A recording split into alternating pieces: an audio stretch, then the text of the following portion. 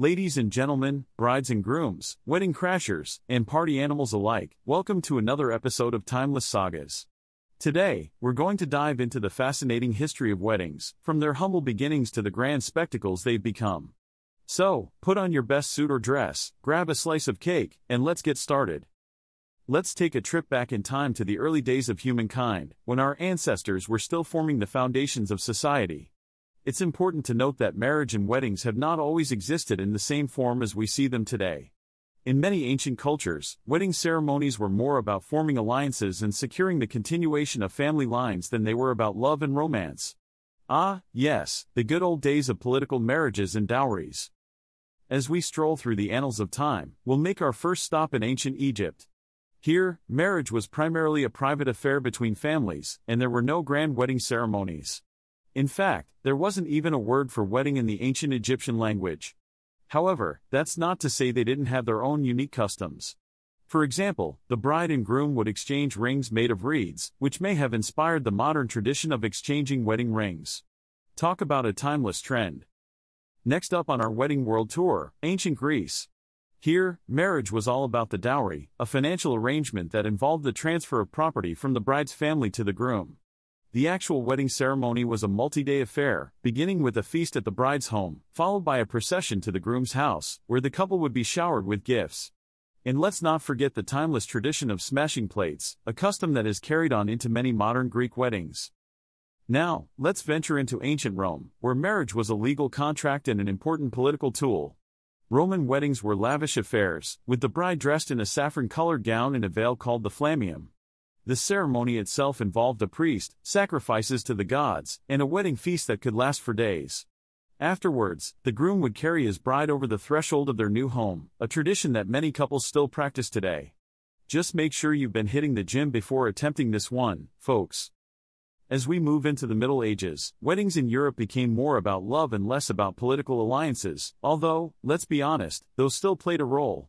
During this time, we started to see the rise of elaborate wedding ceremonies, complete with feasts, dancing, and music.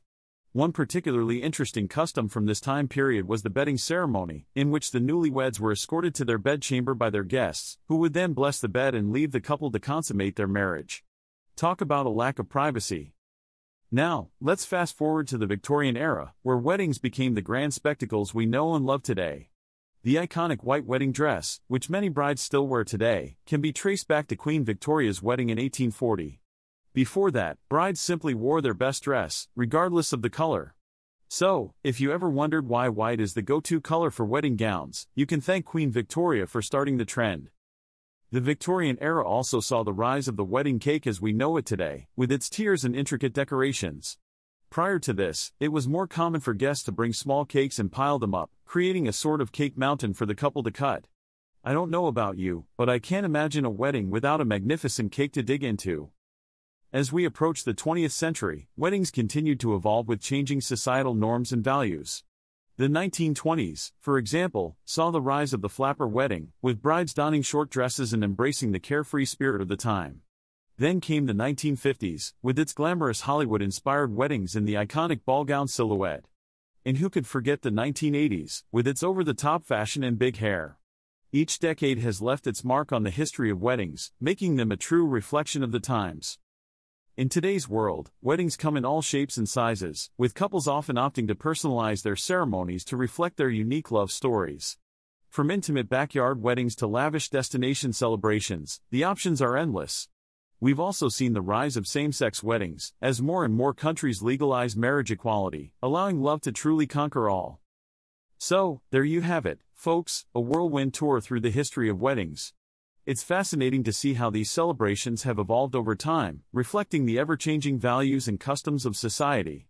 Whether it's exchanging rings made of reeds or wearing a white gown inspired by Queen Victoria, the history of weddings is a testament to the enduring power of love and the human desire to celebrate it. Thank you for joining me on this journey through time, and remember, no matter where or when a wedding takes place, love is always at the heart of the celebration. Until next time, this is Timeless Sagas, signing off.